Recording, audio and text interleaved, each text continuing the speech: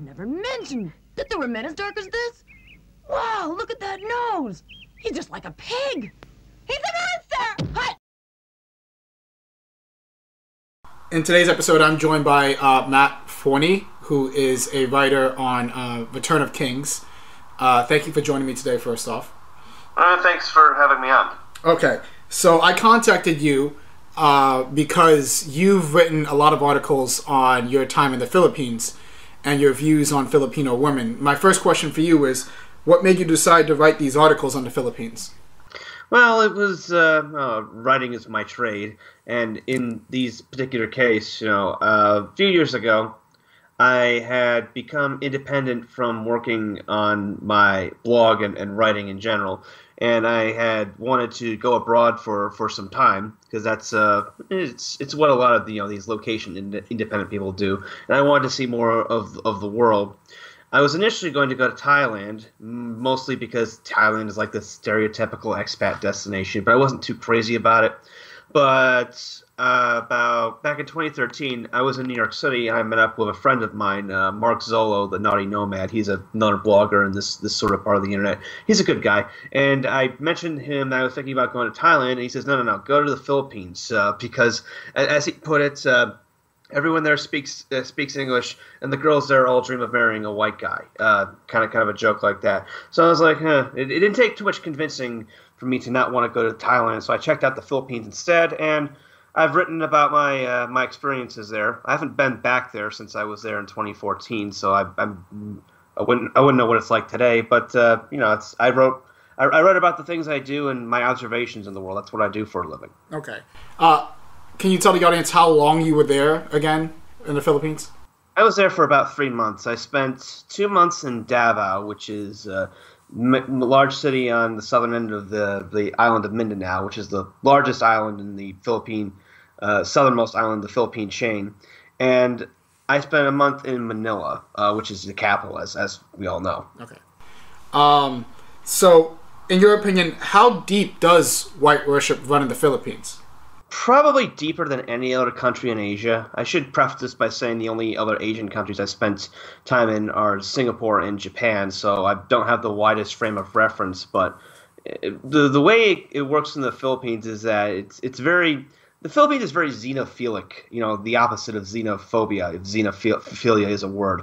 They're very curious and welcoming about other cultures, particularly um, white white cultures, uh, white countries, white people.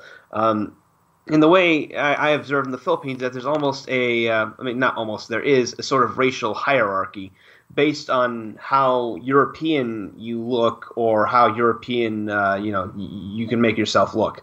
Um, particularly when it comes to women, uh, women who have more European facial features, European heritage, uh, are considered more attractive, and and this is evident in the country's the country's uh, celebrities. Uh, their actors and their uh, their their singers and whatnot tend to be disproportionately of at least part European stock. Um, you see white skin whitening cream being sold everywhere. I mean that's common in Asia in general, but you know the Philippines really takes it to another level. On billboards, walking down the street, you'll see models airbrushed to look uh, white. Uh, whiter. I, I, saw many, uh, you know, m- billboard models in the country uh, featuring women and men who are whiter, lighter skinned than I was. Um, and in in general, um, people of uh, European heritage are considered uh, both more attractive and they're more, more likely to be, be wealthier and climb the, the racial hierarchy. I mean, it, it, this sounds extreme, but when I was uh, dealing with uh, with girls in the Philippines, I, I strongly suspected that some of the girls I, I met were actually trying to get pregnant with me uh, without a marriage because uh, if they had a partially white baby, that baby might uh, have a better would have a much better chance of succeeding in the culture there. That's just how things work there. And frankly, it, it disturbed me a little because. It, I, am not really a big fan of, of, of racial fetishism, as it were. I get stereotyped because I went to the Philippines as having yellow fever and stuff like that. You know, I mean, I, I, I I'm I'm pretty neutral on the whole thing. Uh, I the idea of being being fetishized for, for my race or fetishizing someone else for their race kind of kind of turns me off and disturbs me a little. And if you're white and in your in the Philippines, you'll you'll have that constantly. If you're looking for you know a, a rich dating life, you'll you'll be able to take advantage of it. But me personally, I kind of I kind of got unnerved of it pretty quickly. Okay, uh, you mentioned that you've been to Japan and Singapore. How does uh, white worship work there relative to the Philippines? it's much much weaker. The Philippines is in many ways an outlier relative to other Asian countries um, because the Philippines has a long history of. It's strategically located in the middle of the ocean, so it's a crossing point for various cultures. It was under Spanish domination for centuries. It was under American domination. There's a large amount of Chinese influence. So Philippine culture is in many ways uh, sort of an amalgam of all these these cultures. Uh, I compare Philippine culture to the Katamari from Katamari Damacy. If you've uh, if some of your listeners might have heard of that game, it was a Japanese video game from 20, 2004, I think it was, where you control this gigantic adhesive ball, and the objective was just to suck things up. And as you would, the ball would just get bigger and bigger and take on its own character. That's Philippine culture.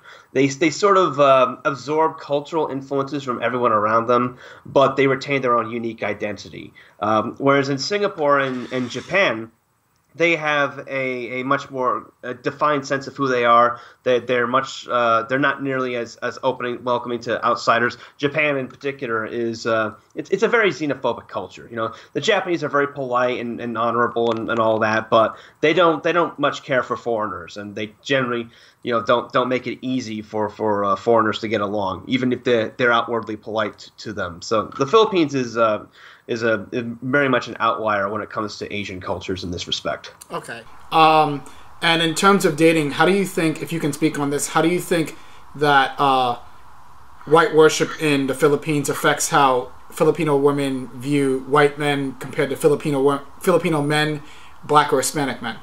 Well, they're they're, viewed as uh, white men are being viewed as being more masculine and, and generally you know better off. Uh, you know the, the money issue is a big thing. You get a lot of gold diggers.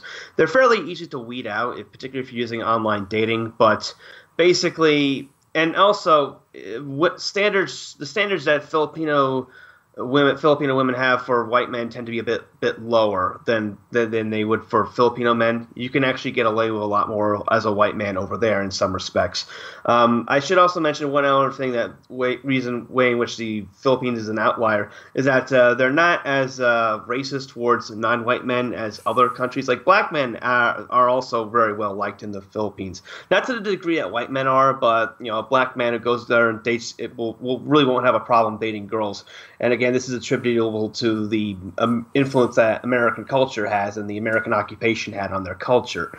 Um, but my my observation is that the the girls I, I ran into um, in Davao, which is um, particularly a, that's a more conservative city. It's kind of off the beaten track. Its main claim to fame is that uh, Rodrigo Duterte, the current president of the Philippines, he was mayor of Davao for about 30 years. Um, and it's uh, his claim to fame was making it a very safe city after it was uh, one of the most violent cities in the world prior to him taking over in the 1980s. Uh, the culture there is very conservative. There aren't a lot of one night stands. Girls there tend to be, uh, you know, you know they, they, they, they won't just give it up to any guy who comes along. Uh, you have to take them out on a few dates first, and they also tend to be a bit more naive and trusting. Manila, on the other hand, is more um, it's more liberal, it's more Americanized, more Westernized. Girls there tend to you know have have their own jobs, make their own money, and uh, ha- have uh, more more Western sexual mores, as it were. So that, that that those would be the primary differences. Okay.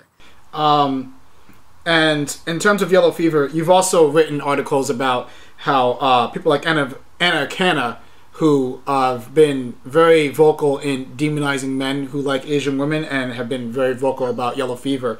What is your take on yellow fever as a whole? Is its argument? Just give me your take on that. I, I don't think yellow fever is really. Uh, I mean, it obviously exists to a certain extent, but number one, I think women like her overplay it, and number two, they ignore the the role that that Asian women foster and sort of you know putting it out there. Uh, from from my observation, most of the men who would be categorized characterized as having uh, yellow fever, like you know white men, uh, they aren't really uh, you know exotifying Asian women per se for, for their Asianness. They're just looking for for women that they find agreeable and who will respect them. And in in their case, they have an easier time finding that among Asian women than they do among white women. Um, the the big cultural observation I made back when this was going on is that you know Asian women tend not to uh, disrespect their men in public. You know, you get all these you know Western American cultures full of all these uh, you know casual put downs of men, misandry, if you want to call it that. You see it in TV advertisements, TV shows, etc., um, and all these sort of anti-male jokes. Uh, you don't really have that in, in Asian culture. There's a you know the whole concept of saving face. So Asian women will tend to show more outward respect and, and deference to, to, to their to their boyfriends and husbands. They won't try to cruelly cut them down or betray them in, in petty and pointless ways. And that's usually what these men are just looking for. They don't really care about a, their Asianness per se. They just want a woman who will respect them, and they just have uh, they're just have an easier time finding that among among Asian women than among white women. And the other thing that is is not mentioned in this equation is that uh, a lot of you know Asian women play into this because they find white white men to be desirable, either because you know um, uh, you know they view them as being more masculine, being more successful, and also because paradoxically they find them to be uh, less controlling and less uh, patriarchal than, than Asian men. You know, there's a you know, phenomenon I believe among Asian women feminists who will you know go to dating uh, white men because they're not uh, they have they have more they have more egalitarian views when it comes to relationships. They're willing to share in chores and whatnot. They they don't beat them. You know, uh, th- this is uh, this is to a certain extent somewhat common among. Uh, uh, cross cultural dating in general. Um, you actually see a bit of it. I, I, live in Eastern Europe now. You see a bit of it here. Uh, you like in, in Ukraine, for example, uh, American and Western men are seen as seen as desirable because they're they're less likely to, to get drunk and, and beat their wives compared to Ukrainian men. Uh, so that that that's a big part of it as well. Um, just to add to your point, I think that while there are creepy white men who go after Asian women, they say creepy things on OkCupid um, and stuff like that. I think that the argument in general is kind of, um, I guess, a way for women in general through feminism, which again, I'm not a feminist. It's a way for women to shame men for getting what they want out of a relationship. So if Asian women, in whether or not feminists see it this way, are, seen as submissive or like catering to what men want, since feminism is about trying to get what women want at the expense of men, you have to shame these men for trying to go after Asian women. No, it's not okay to like a girl that's submissive. It's not okay to like somebody that is willing to have a relationship with, with you. You have to do it my way. You have to you have to be what I want you to be. And if that's not if that's not what you're going to do, then I'm going to shame you for liking these women, and I'm going to show them uh, these women why you're bad. I think that is my issue with how the yellow fever argument has been constructed. Not so much that there aren't white men who aren't creepy, but it's just become a way for women, particularly Asian women, to get what they want, which is white men who have power and status who don't question them, while shaming men for getting what they want, which may be a submissive woman or somebody who doesn't yell and bark about feminism every five seconds. Now, do you agree or disagree with that? Yeah, that, that's a, that's a good point, and and I would add to that, like I think the woman you mentioned earlier that I had been responding to in one of these articles, uh, she gave as an example uh, of, of, of creepy white men. She claimed that uh, a man once came up to her speaking Japanese and was like shocked, discovered that she didn't speak Japanese.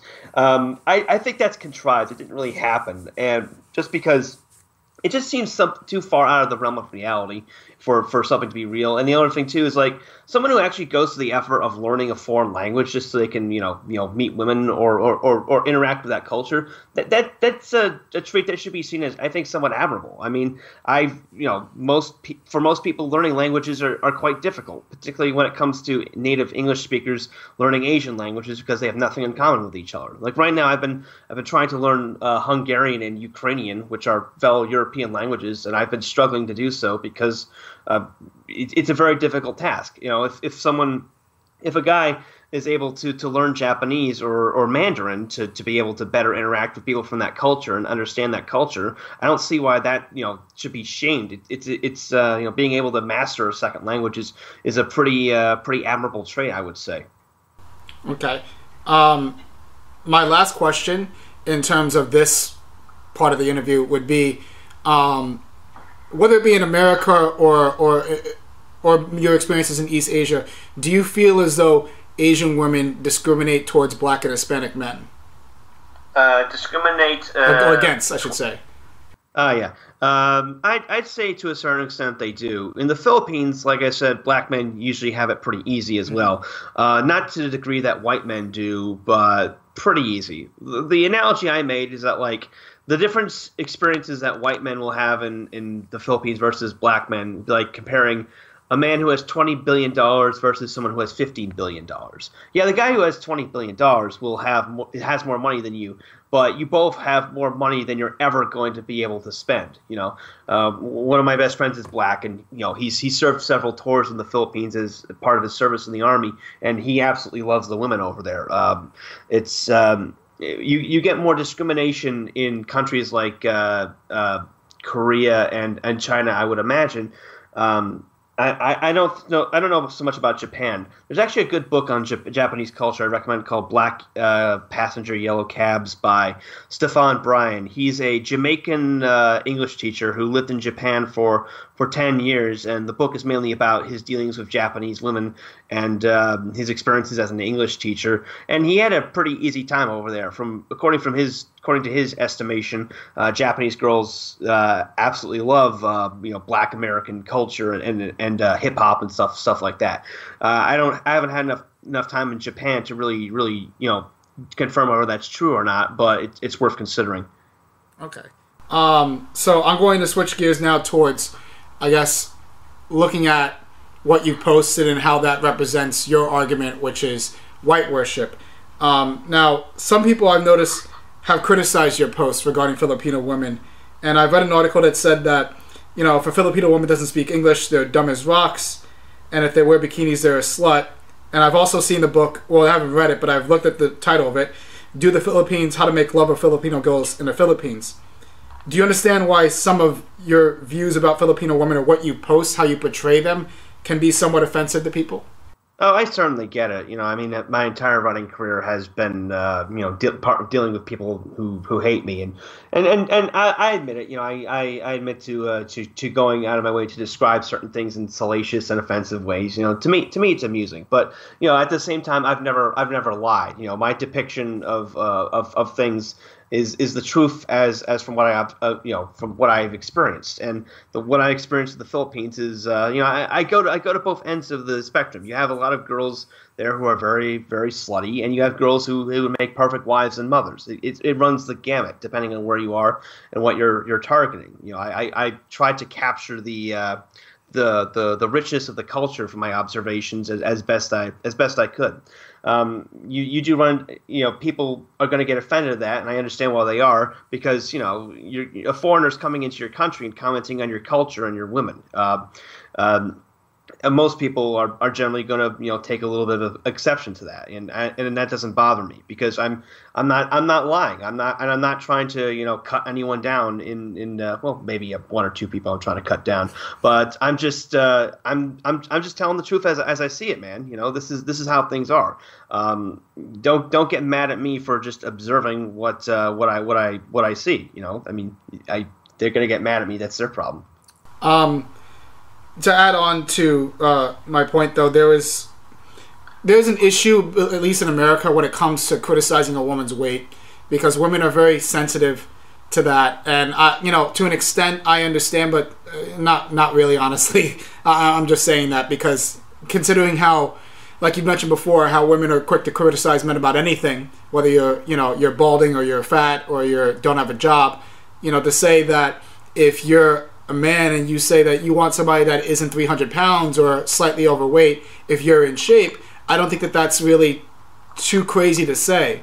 Um, and I think in our culture, we demonize men for that again because it's about with feminism getting what women want and shame. And if you can't get men in terms of a logical argument, shaming men into having that logical argument, which is that hey, if I'm you know a good if I'm in shape, why can't I have a woman that's in shape too? No, you're going to shame them for, for wanting that. Uh, the reason why I mention all this is because in your article, Six Things That White Girls Can, can Learn from Filipinas, you tell basically white women to, to start losing weight fatty.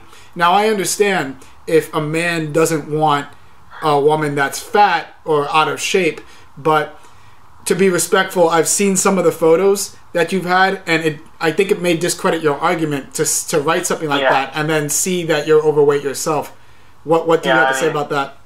Yeah, I mean, I mean, you know, I'm, I'm not, I'm not fronting. You know, I, I run under my real name, like unlike most people, and I'm honest about who I am. You know, I'm, I'm bald and I'm, and I'm uh, overweight. You know, I've never, I've never tried to hide that. But you know, the reality is that uh, men and women look for different things in, in, uh, you know, when it comes to dating. That's, that's just reality. You know, I've, I've been overweight most of my life, but I've never really had a problem with women per se.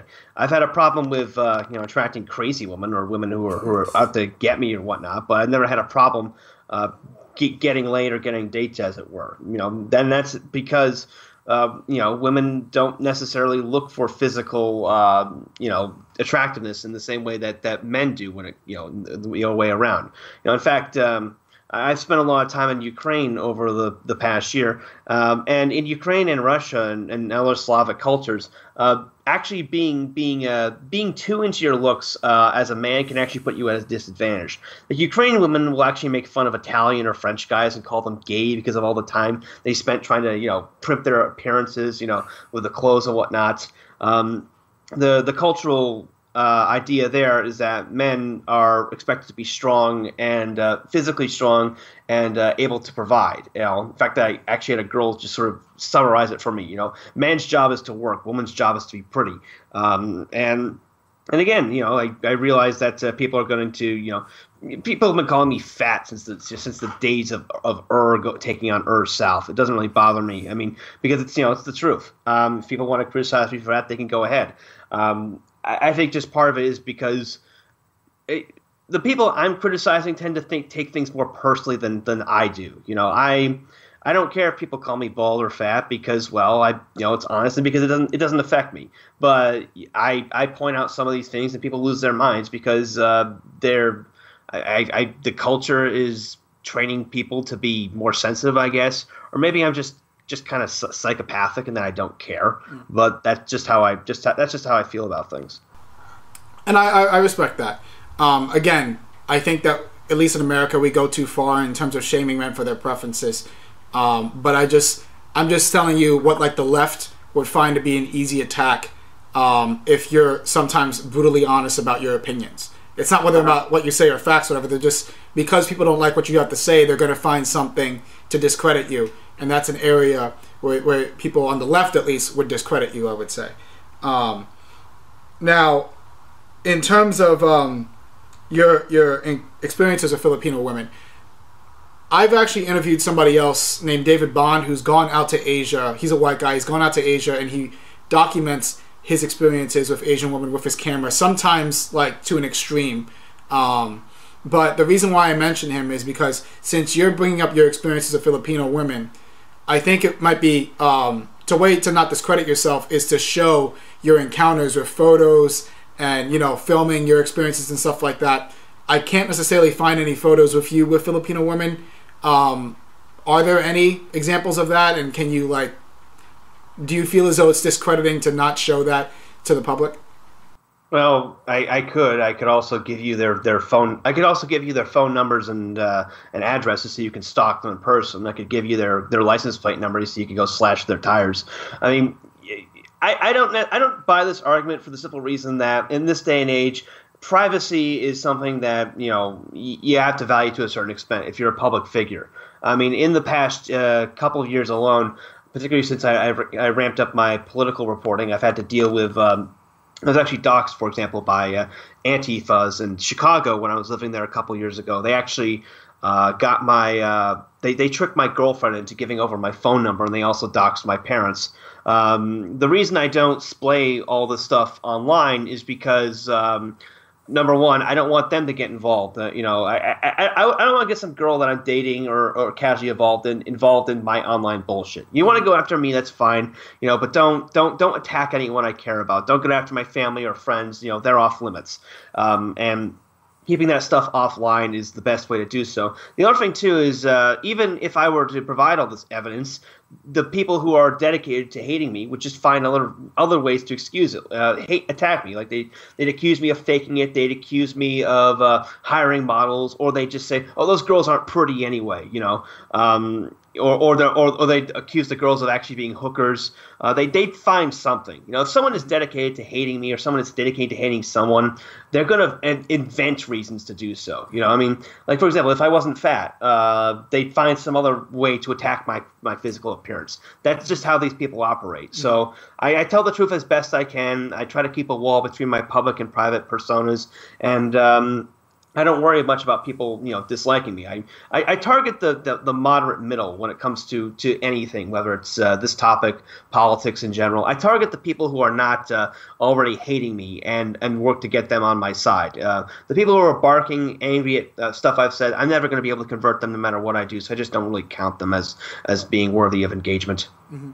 And look, I mean, we I may have some disagreements but one thing that I am agreeing on with you in terms of um, this whole issue is that Asian women are hypocritical when it comes to talking about yellow fever. They obviously have white fever. We don't talk about it, at least in America, because there are a lot of liberals who just apologize for women no matter what.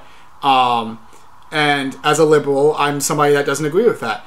I agree more with MRAs. I am an MRA. I'm not a feminist. I agree um, with the white fever argument, which I think is rising now because people are starting to realize that Asian women in general, not individually, but in general, are very like full of shit when it comes to acting like they're being objectified, particularly when they're the ones that are the most racist when it comes to viewing romantic partners. They want somebody with money, they want somebody that's white, they want to have a baby, like you mentioned, that's white because um, they're worried about their children being successful in society. And rather than fighting the racial inequality that's in our world, they're looking to get the best out of it by having a white baby. That's not helping anybody.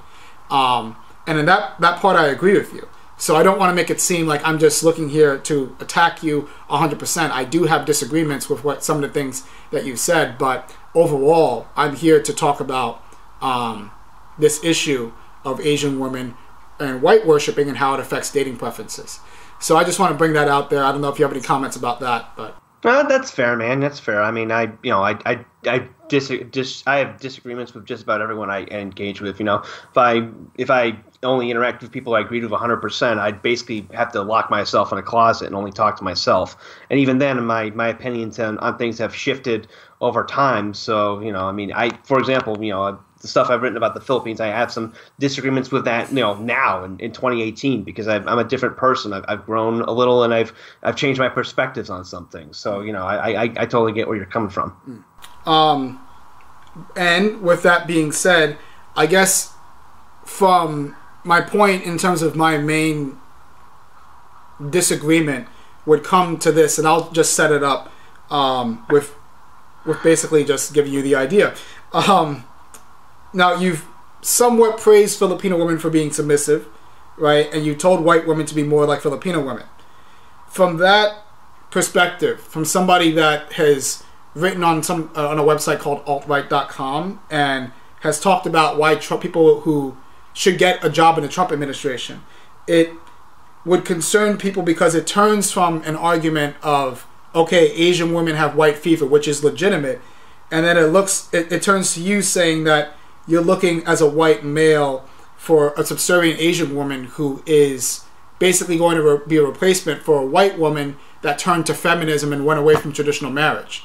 Um, my question is, is that are you that? Are you looking for an Asian woman to replace a white woman who left for feminism, or are you just bringing up these talking points to bring up that there's white worship in the Philippines? Well, um, uh, just just a minor correction. I don't actually write for altright.com. Um, I wrote for a website called Right On, which was merged into altright.com. But due to a disagreement between me and Richard Spencer, I was not allowed to join the new site. It's just that my articles from Right On happen to be hosted there. But uh, my my view on, on interracial dating has changed somewhat since I went to the Philippines. It actually changed because I went to the Philippines, and I've I've said uh, my my piece on this. Uh, there's an article on my blog called uh, race mixing is bad, MK, in which I said, you know, I don't care if people, you know, about interracial dating. It's none of my business. But I've personally decided that I would not want to. I, I'm going to, if I'm going to get married and have children, it's going to be with a white woman, simply because I I want that cultural compatibility, which is something you really can't get if you're if you're inter if you're dating interracially. It's it's somewhat possible, but it's more difficult. Like if I had. Uh, if I had uh, gone back to the Philippines, I'd married a Filipino woman. Um, you know, I, I'd be raising my kids. Uh, you know, they, would be biracial, and they would be torn between uh, American culture and Filipino culture. And we we've seen in the U.S. Um, there's uh, been, I mean, half uh, half white, half Asian men have been somewhat overrepresented. For example, with street shooters, we have to take, for example, Elliot Rodger, who was uh, his his um, his psychosis was in part motivated by the fact that uh, you know his mother was Asian, he was raised in the U.S., and he never felt he never felt uh, white enough to fit in with white people or Asian enough to fit in with Asians. Um, you know that was a pretty obvious source of his his psychosis. Uh, number two is if I raise, if I marry a Filipino woman and I raise them in the Philippines, I'm never going to be able to integrate fully into the culture, just because for racial reasons. You know, it doesn't matter if I if I learn uh, Filipino, it doesn't matter if I become a citizen. Uh, if I've lived there for years and years and years, they're always going to see me as that white guy. You know, I I don't want to be a perennial outsider in a culture. And you know, to comparison, I've uh, spent a lot of time living in, in Hungary. I'm actually in Hungary right now, and I have actually assimilated uh, to a certain extent in the culture because I, I can speak a little Hungarian, um, and when I'm walking down the street, people think I'm Hungarian. I don't get I don't get hustled by uh, all the drug dealers and hookers like the idiot British tourists here do. Um, I, I, I, like that. I, I if I'm going to move somewhere, I want to to be able to fold myself into the culture to to a certain extent. You know, speak the language and uh, and and understand the culture, and, and that's something that you know a white person simply cannot do in Asia. Um, I, saying all that, I, I want to reiterate that I don't care if people you know date interracially. You know, if you if you fall in love uh, and you can build a life with someone of a different race, then by all means do so. You you shouldn't break that up due to some autistic um, you know alt right ideology about race mixing or whatnot. But for my personal choice is that I would just rather not do that because it just introduces unnecessary complications to the relationship. Okay. Um, so to follow up, then, are you looking for a white woman to have, I guess, more what would be stereotypical Asian qualities? Given that you've written articles that said like this is lessons that white women can take from Asian women. Well, yeah, I'd like a woman who's agreeable. You know, I'm, I'm, I, you know, I, I somewhat joke about uh, some, some of my commentary on, on gender relations, as it were, is, is a bit trollish, you know, and a bit extreme. But really, at the end of the day, what I want is a woman who is, um, you know, agreeable, uh, which is, is difficult to find in the U.S. these days, um, particularly, particularly with my public profile. You know, I was, um, you know coming back from the Philippines, uh, I spent the next uh, year and a half in a relationship with a woman who's completely and utterly crazy and, and left a, enough psychological scars on me that it took a long time for me to heal. Um, and um, you know, over here in Eastern Europe, I've I've uh, I've, I've dealt with plenty of women who uh, you know who, who would match that that caliber. Uh, you know, I uh, women women who are agreeable and, and pleasant and and aren't uh, look constantly looking to get one up on me and and who aren't absorbed in their in their smartphones. That, that's that's the big thing that's starting to annoy me. The smartphones and the constant seeking of attention that you see among among women in the West. Uh, it's less prevalent out here, and it gets less prevalent the further east you go. You know, I you know, uh, it, that's that's that's just something I would um, the, the the characteristics I've praised Asian women for having. They're not necessarily exclusive to Asian women. In fact, they they really aren't. You know, um, going back to like the, the article I wrote, six six uh, things white girls can learn from Filipinas. There's nothing um, you know, there's nothing preventing white women or any women of any race from embodying those those characteristics. It just so happens that Filipinas happen to have them. You know, uh, I uh, that, that's just my my perspective on things. Um, one more question comes to mind. Uh, how much do you think that feminism has uh, impacted dating culture in the Americas, at least?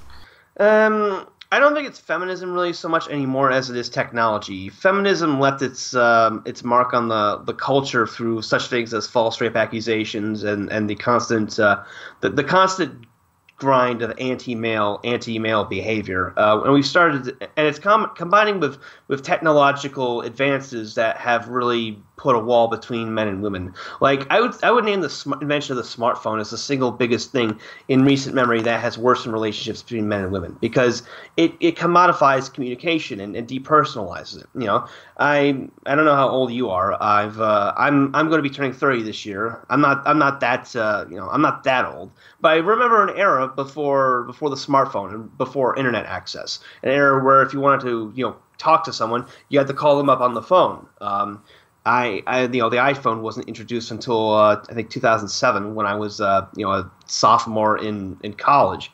Um, so back then, uh, communication was a lot more personal and people were a lot more open to it you know? You could you could walk down the street and, and ask someone for directions you know if you were looking to get somewhere. If you were in a bar you could come up to a girl and talk to her and, and get her number and maybe take her home uh, because people back then were, were much more sociable. But now everyone's on their their their goddamn smartphones mm-hmm. uh, just you know twittering away, you know, playing video games, and in the case of, of women, they're seeking attention via Instagram and other social media pro, uh, profiles.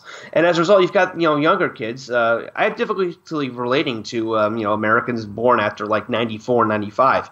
Um, born in an era where they don't uh, they've never known an era without the internet without facebook without smartphones because and because of that, their their social skills are stunted to the point where you can't even really have a conversation with them in many cases. Um, that you get something like Tinder, uh, which is basically takes all the uh, the personal element out of out of dating. You know, instead of talking to someone, meet, meeting someone in a naturalistic way and getting to know them, you just swipe swipe, swipe until you see someone whose pictures you like. You have a few, you know, stilted conversations, and then if you're lucky, you, you go off for, for to a date where you get drunk and you hook up. Um, I I, I think that has done way more damage to the cultural fabric than feminism has because feminism's importance is really kind of receding in our um, in our modern culture. You still get vestiges of it with uh, you know the Me Too stuff and false rape accusations, but I don't think that's as big a factor anymore. I think attention is uh, uh, the uh, I think technology and uh, constant attention seeking. It, it's sort of uh,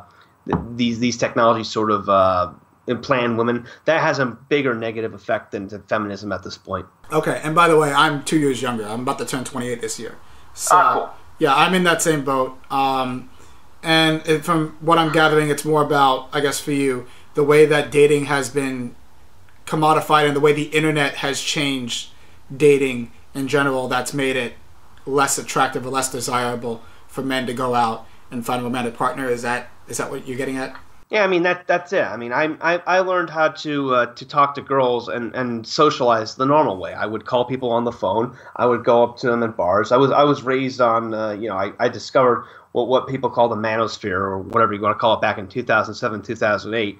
You know, I was raised on on guys like uh, like Roosh V and um, you know Heartiste, and uh, back then you know going up to um, you, you you went up and talked to people in, in, bars or or talked to people on the street. You had you had normal human connections, and that doesn't exist anymore in the West. And and, I see actually it, it this uh, this cultural rot extending to the East as well. Like you know, smartphones are becoming very very popular over here in Eastern Europe, and um, not so much in Ukraine, but I'm sure it'll get there eventually. You know, it's, it's like a it's like it's like a cancer, and it's basically separating men from women, and and uh, you know getting them to uh, to, to sever these human connections. To give an example of how this is sort of unfolding, uh, you know, the average age at which uh, American you know teenagers are losing their virginity has been rising steadily for the past few years, and statistics show that millennials have been having less and less sex.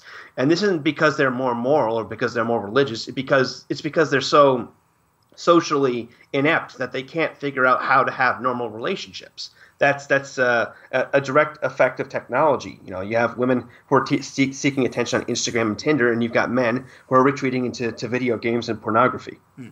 Okay, I mean, yeah, it's pretty bad over here. Uh, whether it, from my experience, whether it be through feminism or online dating culture, it's just absolutely terrible over here. And um, on that note, I would say that anybody who can find a way to I guess find somebody uh, who doesn't go towards that culture, which is online dating culture or feminism, or just out, outside the country who doesn't know any somebody who doesn't know any of this.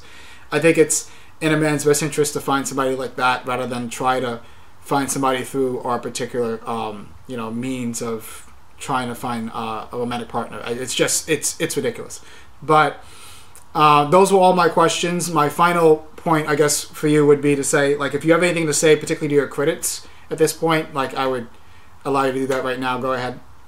Eh, well, you know, if you don't like it, uh, that's your problem. You know, I don't really have anything to say to them because I, have been, I've been, I've been talking to them for you know my entire writing career, and I know how exactly how it's going to go. So whatever, man.